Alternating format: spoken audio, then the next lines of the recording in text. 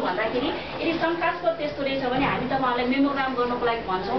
अथवा के रहेछ? त्यो हेरिदिन्छौँ र तपाईँलाई क्यान्सरको यदि त्यस्तो गाँठो रहेन रहेछ भने चाहिँ तपाईँ ढुक्क भयो। यदि क्यान्सरको गाँठो रहेछ भने सानो त्यो गाँठोलाई त गाँठो मात्र निकाले पुग्यो नि। है? अनि स्तन क्यान्सर चाहिँ त्यो स्तन क्यान्सरको चिनो पनि यो चाहिँ फिक्का गुलाबी कलरको राख्छ क्या त्यसलाई? किन राखेको त भन्दाखेरि स्तन क्यान्सर भने यस्तो क्यान्सर हो जो चाहिँ बेलैमा पनि सजिलैसँग निको पार्न सकिन्छ कि? क्युरेबल क्यान्सर भन्छ। हामी स्तन यो हामी स्तन क्यान्सर सम्बन्धी एवारनेस कार्यक्रमहरूमा जाँदाखेरि यस्तो चाहिँ स्क्रिनिङ यस्तो जाँचहरूमा जाँदाखेरि पिङ्क कलरको हामी त्यो लाउँछौँ क्या रिबन लाउँछौँ। होइन? त्यसले भन्न खोजेको कुरा चाहिँ तपाईँको स्तन क्यान्सर तपाईँहरू जस्तो महिलाहरू आफैले गर्नु सकिन्छ।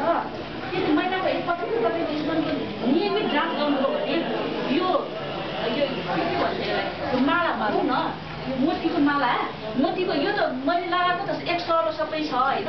कुनै कुनै मोतीको माला तपाईँले देख्नु भएको छ?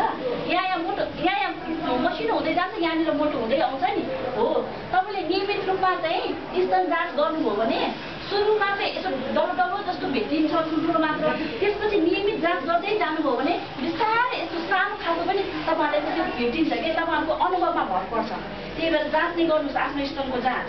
र शङ्का लाग्यो भने आउनुहोस् हामी